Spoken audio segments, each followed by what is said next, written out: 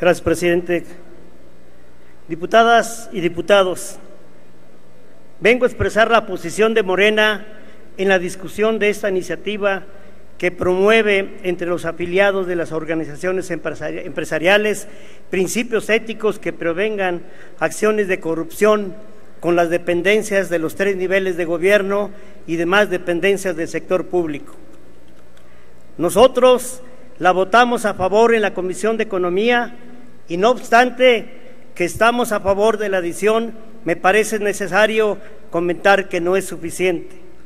Es necesario señalar que un verdadero comportamiento ético de los empresarios en México debería comenzar por reconocer que son solo un sector de la economía y que no siempre sus intereses coinciden con los de los otros conjuntos de la sociedad.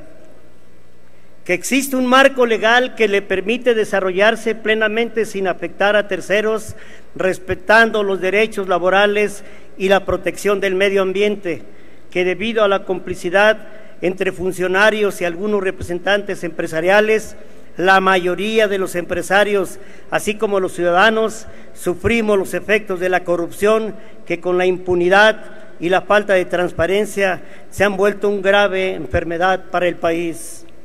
Hoy existe mucho en el combate a la corrupción y en la transparencia y claro, en el comportamiento ético, pero no vamos al fondo, solo se simula. El presidente Enrique Peña Nieto dijo en una reunión reciente de la Coparmex que la corrupción no es un elemento privativo del ámbito público, también está en el privado y a veces van de la mano. Y para mostrar este dicho del Ejecutivo Federal de la corrupción compartida, bastan algunos ejemplos. Caso emblemático de corrupción es el siguiente la promoción que se hizo en alianza con funcionarios y exfuncionarios y la cúpula empresarial de la reforma energética como el detonante de desarrollo económico ha generado en la realidad la economía del país hasta el momento nulos resultados y sin embargo casualmente los exfuncionarios ahora ya son funcionarios.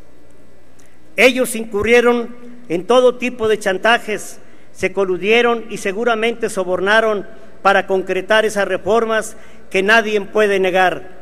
Han significado la expropiación del patrimonio de todos los mexicanos, como la de la Comisión Federal de Electricidad y Petróleo Mexicanos, para ponerlos en unos cuantos. Eso fue un verdadero atraco. Esa es la total corrupción que prevalece en este país. Otro caso emblemático de la corrupción una investigación periodística desató la mayor escándalo del sexenio del presidente Enrique Peña Nieto. Se supo que tuvo una casa de 86 millones de pesos en las lomas de Chapultepec, construido por la empresa IGA, una de las empresas que ganó la licitación del tren México-Querétaro y que antes levantó obras cuando Peña Nieto fue gobernador.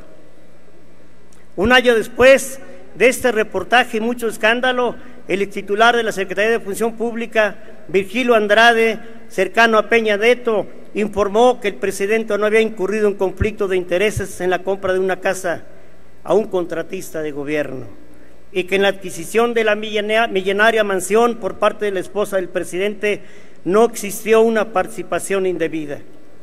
Siguiendo la lógica que el sector público es corrupto, lo que ha hecho la cúpula empresarial no es denunciar y promover una verdadera ética nacional, sino que se han coludido para beneficiarse de la mala administración, el, desmantelamiento del gobierno, quedarse con las partes y todo ello, al tiempo que simulan, simulan combatir la corrupción.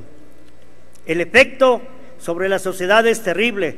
Por eso, si hoy aprobamos esta reforma, reforma acaramos que no es suficiente reflexionemos nuestras decisiones y sobre todo reconozcamos que, como lo señala el artículo 25 constitucional del sector social, del sector privado y el sector público, deben contribuir conjuntamente en el fortalecimiento de la actividad económica sin buscar beneficios indebidos. Combatir la corrupción requiere, requiere la vigilancia, la supervisión y la sanción a conductas indebidas verdaderos avances sin, simulaciones y eso debe ser el objetivo de todos los diputados aquí presentes. Ojalá tengamos conciencia para que nuestros nietos y nuestros hijos no nos lo refrieguen en nuestra jeta. Gracias.